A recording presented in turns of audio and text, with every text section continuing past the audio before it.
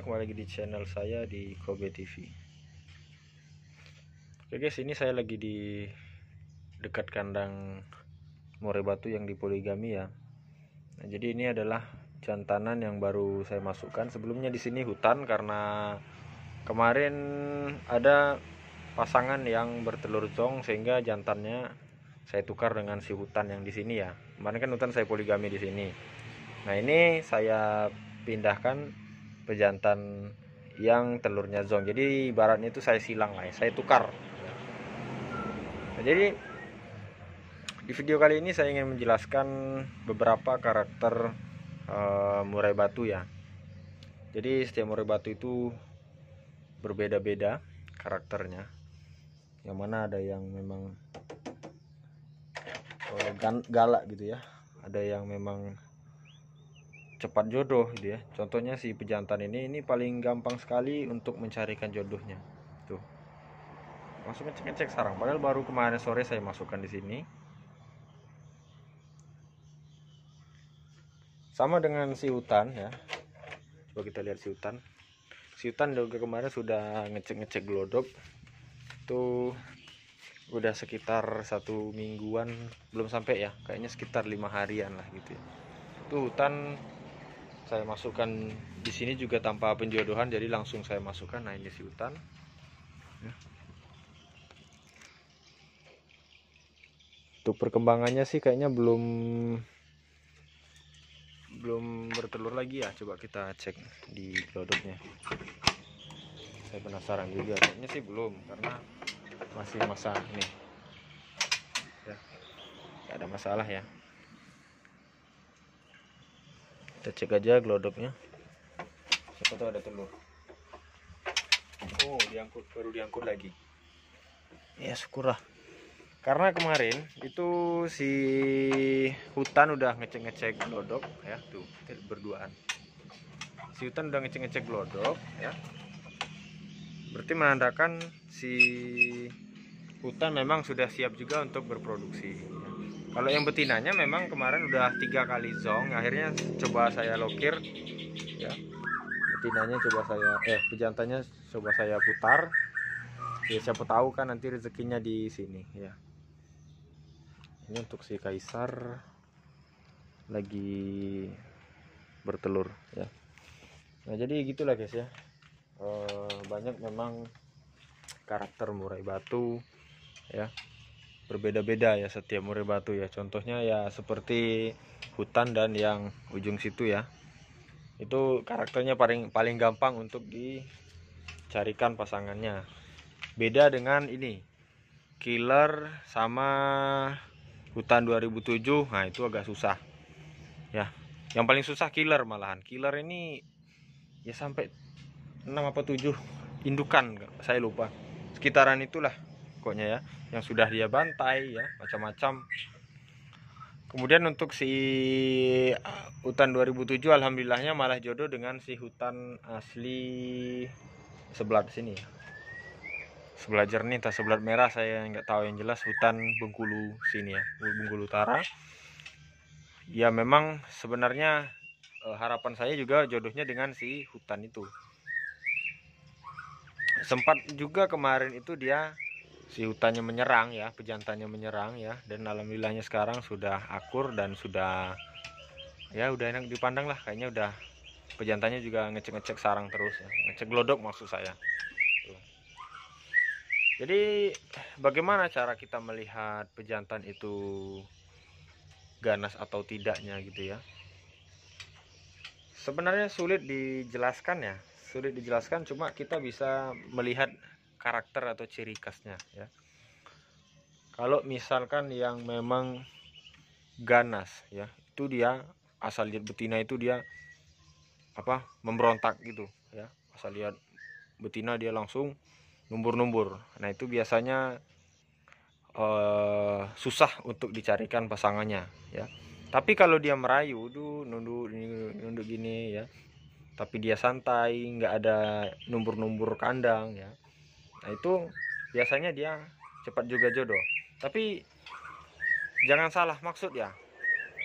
Hutan yang 2007 itu juga gayanya seperti itu ya apa merayu-rayu sujud-sujud kemudian bunyi-bunyi yang luarin isian semua nah tapi begitu didekatkan dekat-dekat ya nah itu dia langsung memberontak juga nah itu salah satu indukan eh, pejantan yang susah juga eh, dicarikan jodohnya ya. Jadi biasanya jantan-jantan kalem gitu ya. Apalagi hutan yang paling enak itu hutan ya. Hutan itu biasanya ya memang ada juga yang ngebantai tapi kebanyakan itu dia tidak ngebantai. Karena apa? Pertama dia memang uh, masih stres ya stres ya. akhirnya ya gampang aja ya. Makanya banyak yang berhasil juga dari penjodohan murai batu hutan gitu ya. Sedangkan kalau murai batu yang misalnya mantan prestasi ataupun burung aduan nah itu sebenarnya agak sulit dan prosesnya agak lama ya. Banyak yang merasakan yang mengeluh gitu ya dengan murai-murai batunya yang prestasi uh, sulit untuk dijodohkan. Tapi akhirnya ada juga yang berhasil ya. Pelan-pelan pelan-pelan saya uh, arahkan juga ya akhirnya berhasil ya. Jadi itu semua balik lagi ke apa ya konsistennya seseorang ya. Kalau konsisten insya Allah suatu saat burung itu bakal uh, adalah jodohnya gitu ya. Cuma kalau kita nggak konsisten gampang menyerah ya putus asa itu sangat sulit lah ya.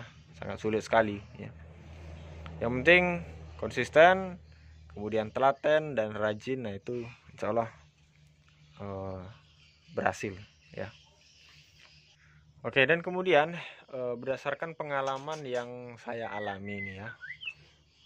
Jadi ini bukan berarti 100% benar ataupun 100% pasti seperti itu, tidak. Ya ini kebanyakan, tapi yang saya alami ini ya. Pejantan yang ngebantai itu biasanya kalau dia udah dapat pasangan yang pas itu biasanya ini ngisi, langsung ngisi ya, langsung isi ya.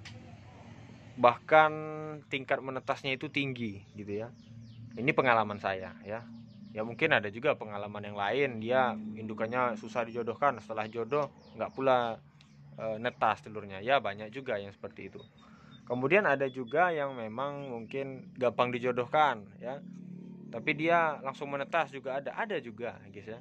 Tapi kebanyakan yang gampang dijodohkan itu juga e, saya lihat ini kebanyakan ya. Saya bilangnya kebanyakan jarang yang menetas. Ataupun tingkat menetasnya itu kecil sekali.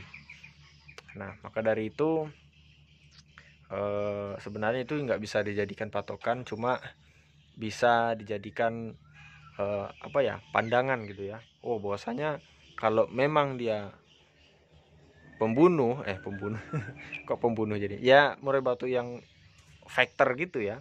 Dia asal sudah mendapatkan pasangannya yang pas itu biasanya memang benar-benar jadi gitu ya. Itu pengalaman. Tapi jangan bersedih hati dengan yang murai batu yang gampang jodoh ya. Juga bisa ya contohnya si hutan saya ini ini gampang jodoh sekali. Cuma dia ngisi asal betinanya birahi betinanya udah masa subur masa bertelur asal dia udah bertelur insya Allah juga ngisi gitu ya. Tergantung rezekinya lagi gitu ya. Jadi jangan anda uh takut. Waduh punya saya gampang. Ini, ini gampang jodoh gampang. Jangan dipatokin ke situ ya. Tenang aja guys. Rezeki itu udah ada yang ngatur.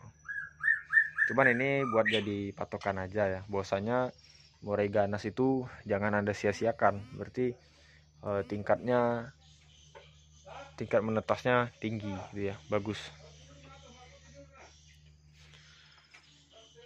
Ya seperti itulah kira-kira guys ya. Hmm. jadi ambil uh, sisi positifnya dari video ini yang kira-kira menurut anda masuk akal ya silahkan anda terapkan. Jika sekiranya tidak uh, masuk di pikiran anda ya silahkan anda berpendapat yang lain gitu ya. Di sini saya hanya menceritakan pengalaman dan kemungkinan-kemungkinan gitu ya. Karena ini kita berbicara dengan apa ya berdasarkan pengalaman saya kemudian juga apa yang terjadi dan eh, hal-hal e, yang mungkin saja terjadi gitu ya. Oke guys mungkin cukup sekian ya. Terima kasih sudah menonton. Saya kiri assalamualaikum warahmatullahi wabarakatuh